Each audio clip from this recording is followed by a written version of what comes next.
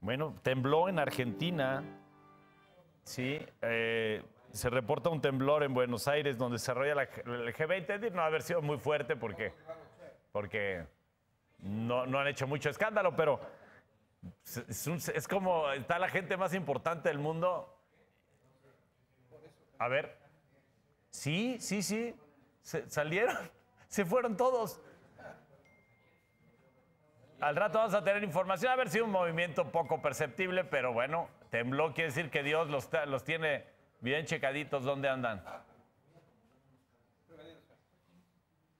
Ahí está la información. Bueno.